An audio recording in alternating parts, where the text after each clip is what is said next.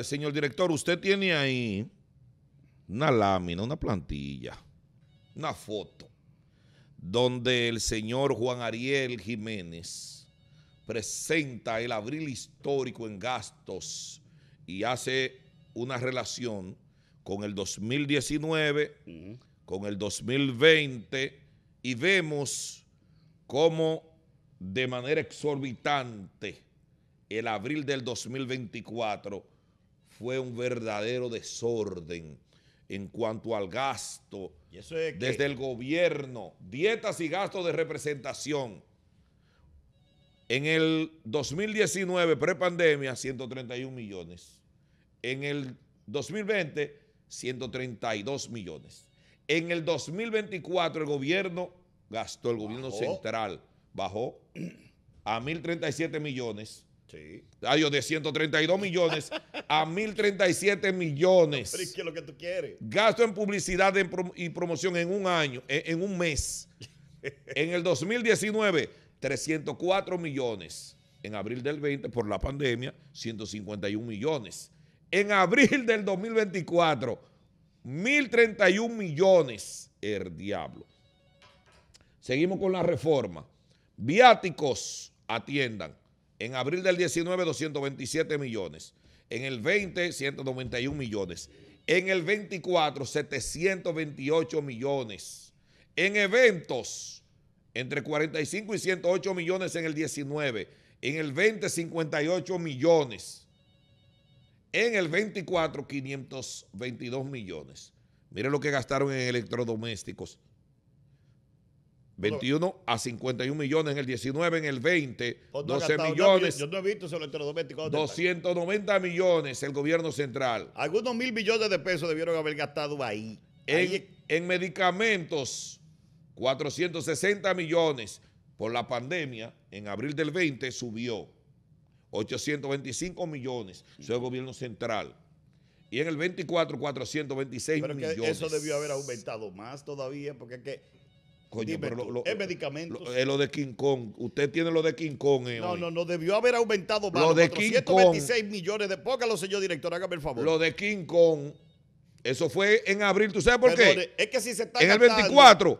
porque en mayo eran las elecciones. Óigame. ¿Entendieron cuál fue la mecánica? de representación se ha gastado 1.037 millones. Es un abuso. Tú no me puedes decir a mí que en salud, en medicamentos, tú vas a gastar 426 millones de pesos. Pero tú sabes por qué. Porque en gastos de representación y dietas es para los amiguitos no, y, para y, para la politiquería. Ahí estaba Daddy Alcántara. Para movilizar el grupo de mañosos de la prensa. Eh, cuidado. Los coriferarios de la prensa. muchachos serios. Que se han hecho multimillonarios con los gobiernos. No solo con el del PRM con los del PLD también, porque estuvieron Pero Julio medrando, gravitando ahí.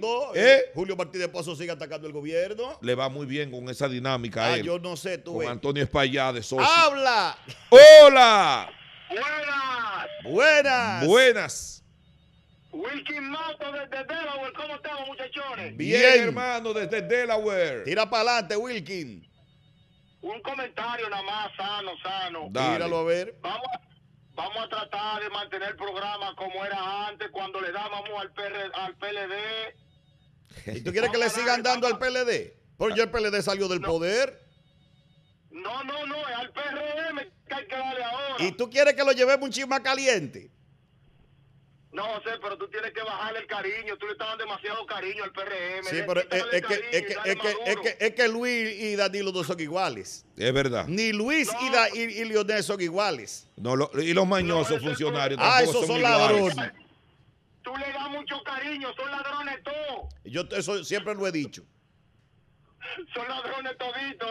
Pero ¿a quién tú quieres específicamente mandarle tu cariñito hoy?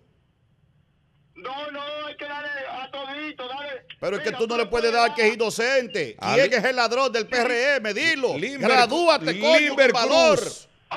Te digo que es el ladrón del pesado. Wellington Arnaud. Por, por, por, el mismo eh, Abinadel. Ese es el número uno. Ángel ¿qué Hernández pasa? en educación. No, no, no, búscate uno para que le dé. Te está pasando de que, que Luis Abinader es un ladrón, no así. No, no se le fue la mano. Te, te equivocó ahí. Luis llegó rico ahí. Luis llegó con cuarto. ¡Habla! Él no sabe administrar, pero llegó rico ¿cómo ahí. que no sabía administrar? ¡Hola! Buenas tardes, José David. Buenas. Oiga, pero como son de prósperos los negocios y las industrias, los emprendimientos de las personas que están afiliadas al gobierno de turno, de- a los gobiernos Ah, de eso turno. sí, maestro. Eso es verdad, se hacen Y- ricos. Se cuando- rinde ahí. Y cuando se le va la cosa, deben millones en la luz, no prosperan. Una pregunta que tengo, y no es por, por el, que, el que más me llega a la mente. Yo me imagino que Gonzalo Castillo, ahora que puede dedicarse 100% a su empresa. Entregarse privada, a su debe empresa. te- Debe, tener 3 mil millones de aviones. Te escondido. No, pero debe No, la, la un industria de él proceso. Maestro, dice un amigo mío, está pedido. Pero la industria de él, ¿cómo, cómo ha progresado? Le va bien, a él le va En bien, a él le va bien. No, no le está yendo tan bien. Sí, sí, sí, igual es que verdad. mire, maestro, si usted busca lo de Lidosa ahora y lo que Y era una pregunta, Lidosa, porque no me son cosas diferentes. si le va igual de bien que cuando era ministro. Jamás. que- que aumentó Ahí la le va igual. aviones. Mm, Oye, pero... y Pregúntale a José Ramón Peralta y le está yendo igual. la- un- un- una reforma fiscal para que yo pague más. Prepárate, amárrate los cinturones.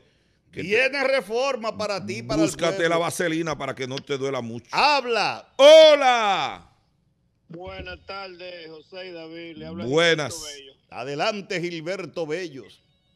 Eh, José, primeramente le quiero recordar cuando yo le llamé el viernes para eh, hacerle el parenteco de Pedro Casal, ¿verdad? Pedro Sí. Casal, sí. Yo soy muellero y me va, me duele lo que voy a decir, Diga, diga. porque yo soy camionero igual que esa gente y déjeme decirle que tengo dolor porque un compadre mío trabajó junto con el papá de esos muchachos en los años 70 con una compañía de cuando nosotros iniciamos en los años 70 Ok. llamado Luis llamado Luis Estrella que yo pensaba inclusive que ellos eran familia del dueño de esa compañía Ok. me duele en el alma lo que está pasando ese señor porque muchas cosas de las que él está diciendo es cierta. Oh. y y me y lamento que esos muchachos no hayan seguido el ejemplo de ese papá. Se torcieron. se torcieron. Déjeme decirle por qué. En Fenatrado lamentablemente voy a hablar y me- eh, con responsabilidad. En Fenatrado desde los tiempos de Diógenes Castillo cuando era secretario general de Fenatrado habían bandas dentro de Fenatrado que se dedicaban al robo Sí, ¿Cómo? sí, de verdad. sí Pero atraco de, había- banca, de, de, de vaina. no de robarla en el servicio del transporte. Fíjese, mire, nosotros teníamos era una asociación que se llamaba Asociación de Transportadores de Transporte de Furgones. Sí. Que cometimos el error, que cometimos el error, apareció un secretario general de nosotros que se parecía a Diógenes Castillo, muy, muy ambicioso al dinero, sin necesidad, porque esa familia era una familia millonaria de cuna, de, de, eh, bueno, con decirle que eran colonos cañeros en, en Vallaguana. Ay, Wow. mi madre. Y, y- y- no, yo- Te está fallando la, la, la, la comunicación. Sería bueno, pero él dice que el papá es serio. ¡Hola! Habla. Se torcieron los muchachos. Adelante. Buenas tardes, mis queridos hermanos. Un saludo para ustedes y bendiciones para su familia. Amén, gracias. Igual a su orden. Mi hermano, ustedes estaban hablando con respeto ahorita del atraco de Puerto Plata que mataron esos dos jóvenes. Uno de a- ellos. Sí, sí, sí. Con, con- con respeto a la crianza. Mi hermano, yo soy de la línea. Yo soy de Loma de Cabrera, mi hermano. Y lo digo con mucho orgullo. Yo hice mi vida ahí en Santiago. Ahí en Santiago. Mi hermano, y lo que yo pasé, lo que yo pasé, mis queridos hermanos, Mm. para yo criar mis dos hijas. Hmm. Mis hermanos, mire, lo que yo pasé para yo criar mis dos hijas, y a mí nunca me llegó a la mente de Dedicarte a- al delito. Asaltar, Yo robar, mejor, matar. yo mejor iba donde un amigo y me le tiraba que me regalara 100 pesos para yo comprarle la comida a mis hijas. Y gracias a Dios, gracias a Dios, a mi familia, yo soy un hombre de bien hoy en día. Y yo sí supe criar mis dos hijas, mis hermanos, mis dos hijas sin hacerlo mal hecho. Pase buena tarde. Gracias, Buenas. hermano. Es que los muchachos, Tiembla, tierra cobarde. es que los muchachos ahora lo que quieren es estar destapando botellas. Y- Los muchachos ahora- Fantameando y pantallando. Y los papás irresponsables dejando lo que no ha pasado nada.